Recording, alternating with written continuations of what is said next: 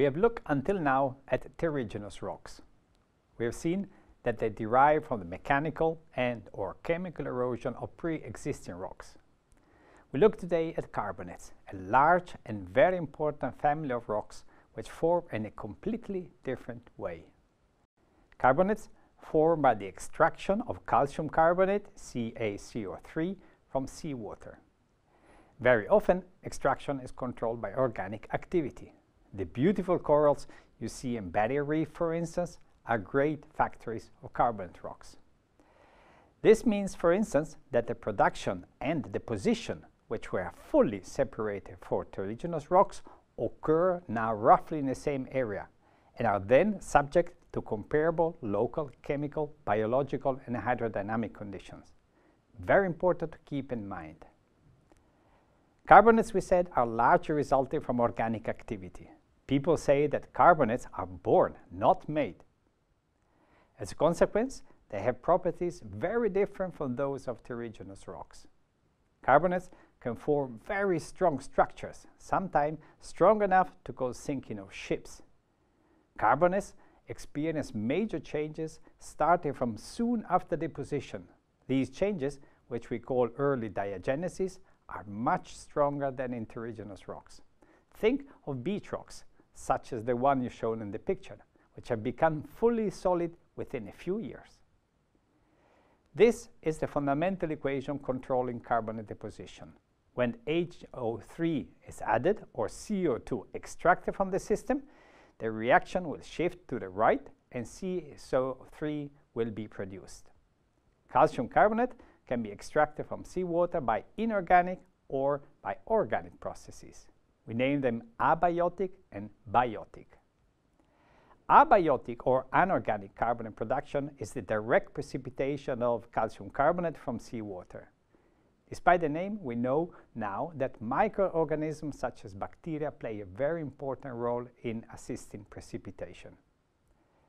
Possibly the most famous products of abiotic precipitation are ooids, beautiful rounded particles with a very regular internal structures. Rocks composed of ooids are called oolites and when not fully cemented form ideal reservoirs with great porosity. Abiotic precipitation is also the process driving the formation of cements during diagenesis of carbonate sediments.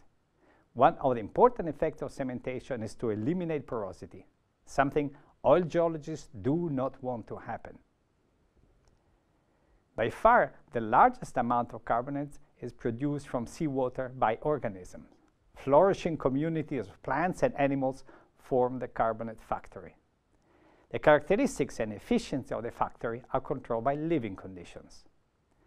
Because photosynthesis is the process which conditions life of a large number of organisms, light is probably the most important control on skeletal precipitation. In clear waters, light can penetrate through several tens of meters. Muddy waters are not good for carbonates. Temperatures are also of great importance, and most organisms have a strong preference for waters between 20 and 30 degrees. Nutrients are obviously also of great relevance.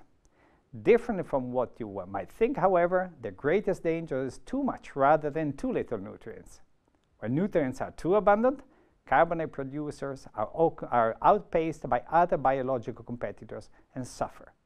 This is what happens in seas where rivers bring large amounts of fertilizers. Based on the processes controlling carbonate production, we define two types of factory, the tropical factory, the cool water factory, and the mud mound factory.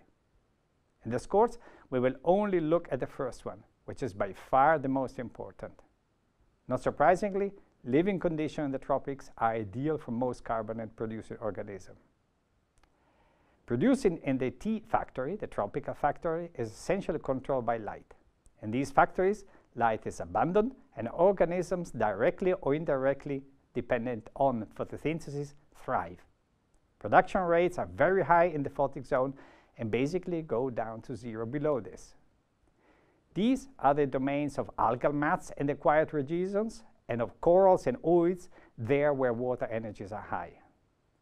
The distribution of the T factory is then directly related to the intensity of light and to temperatures.